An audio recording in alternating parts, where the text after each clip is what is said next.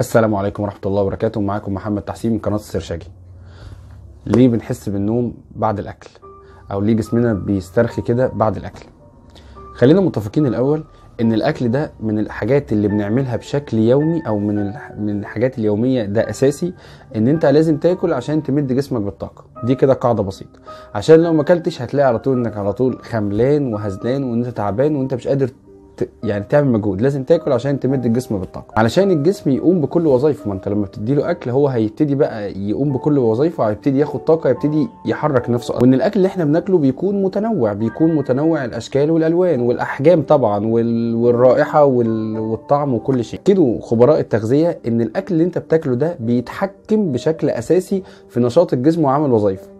فمي ف...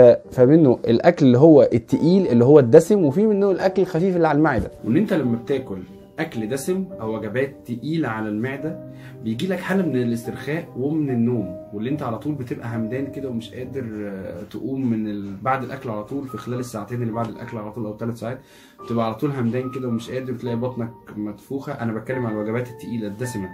آه، فأنت بتبقى على طول بتسترخي كده وبتحس بالنوم. وبعد ما بتاكل أكل دسم وتقيل. فالأكل ده بعد في جسمك بعد كده بيحس بالراحة. فأنت كده جسمك آه، بيحتاج أكسجين كتير قوي فبيضطر يسحب الأكسجين اللي في الدم كله. فمن ضمن عشان يحضره جوه المعدة عشان يبتدي يهضم الأكل ده.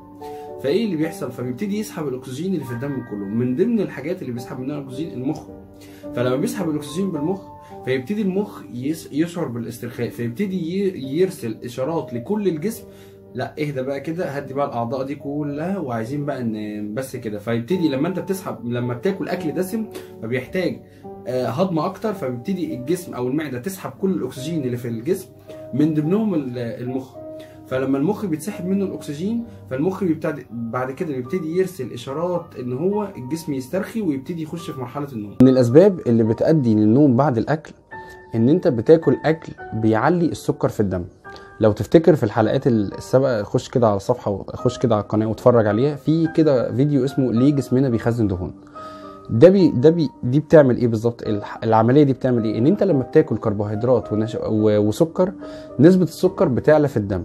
فلما بتعلى في الدم فيبتدي البنكرياس يزود يفرز هرمون اسمه هرمون الإنسولين عشان يجمع السكر اللي في الدم. نتيجة ارتفاع السكر في الدم ارتفاع الإن- هرمون الإنسولين في الدم العملية دي بينتج منها آه، مواد كيميائية في الدم. لما بتعلى المواد الكيميائية دي عن نسبتها الطبيعية لما يعني المواد الطبيعية دي مثلا المفروض المواد الكيميائية دي المفروض ليها نسبة معينة. لما بتعلى عن نسبتها الطبيعية في الدماغ الدماغ بتبتدي تر... بتبتدي تهدى بتبتدي تعمل عملية خمول أو ارتخاء لحد ما العمليات اللي في البطن دي كلها تهدى تماما. بس لذلك يفضل إن أنت لما تيجي تاكل أكل تتحكم في الكربوهيدرات والسكريات اللي بتؤدي. لارتفاع السكر اللي في الدم. وحاول تشرب مية كتير وتاكل فواكه كتير. بس كده. كان معكم محمد تحسين من قناة السرشاجي السلام عليكم ورحمة الله وبركاته.